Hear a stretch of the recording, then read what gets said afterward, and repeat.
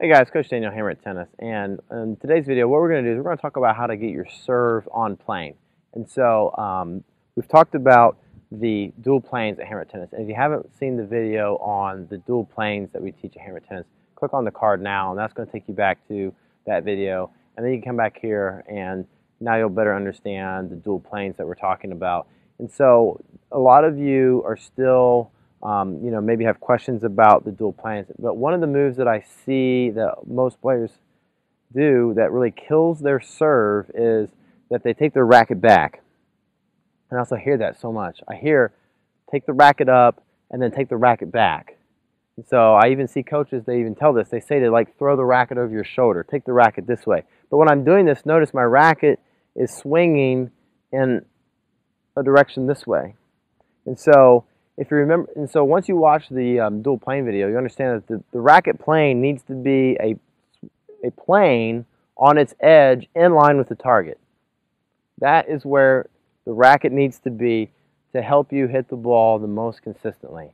And so you may wonder, how can I do that in a serve, coach? Um, so one thing that we do and that I teach is that when I'm serving, I keep my racket, I start with my racket out on the right side as I'm taking the racket back, I take it back over here, this direction. Then the racket is going to move and set in this direction. So my trophy pose is in front of my face.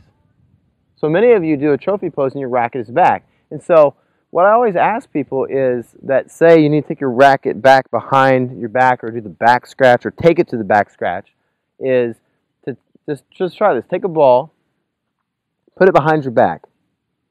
And then from this position, throw.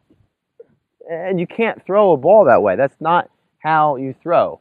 When you throw, you keep the ball out on the right side of your body. And as you turn, your elbow moves forward. You don't take a ball back to throw it. What happens is is your elbow moves forward and because your elbow moves forward, it makes the ball seem to go backward in relation to your elbow. Because my elbow is moving forward, my arm is getting kicked backward. I'm not taking the ball backward. And in fact, when it all happens in high speed, my arm doesn't even go back really that much at all. And so I could put something on my arm and still throw. And I can throw that ball without trying nearly as hard. I can throw it better than when I put my arm behind my back. And so when I serve, it's the same thing. My elbow fires up. And because my elbow fires up, think about a lever again.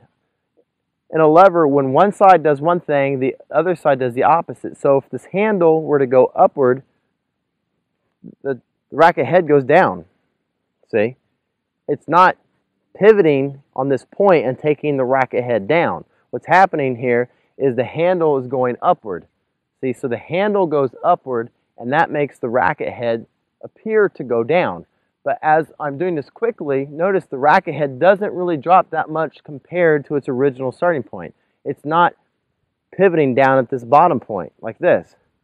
So the handle is going upward because the elbow is going upward. So as my elbow goes upward, the racket appears to drop. But what's happening is the elbow is going up. So if I keep everything on the right, when I do that now, again, notice my shoulders, which again, on my shoulder plane, when I'm serving, now my shoulder plane is aimed more in line with that vertical racket plane. So as my shoulders go up and my elbow goes up, the racket appears to drop. But again, it's over here on the right.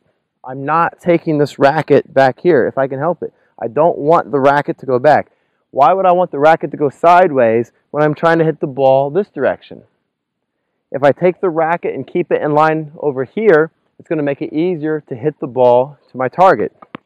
So I'm going to start with the racket on the right side of my body. I'm going to take the racket back in line with the target. I'm going to bring it up and set it in my trophy position in line with the target. I'm going to rotate now so that my shoulder plane matches up and it get, jumps on to the racket plane. The racket plane jumps into the shoulder plane there, and then I'm going to extend up to the ball.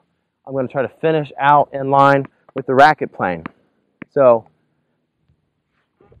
everything together works like that.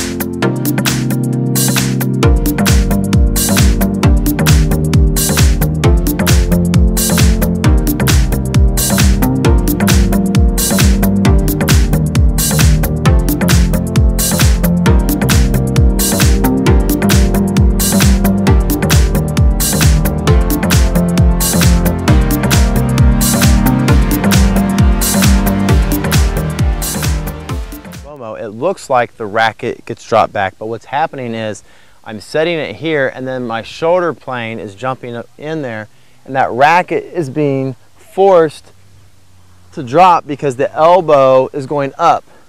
And so I'm here and as, as I'm turning in, it makes the racket appear to go backwards.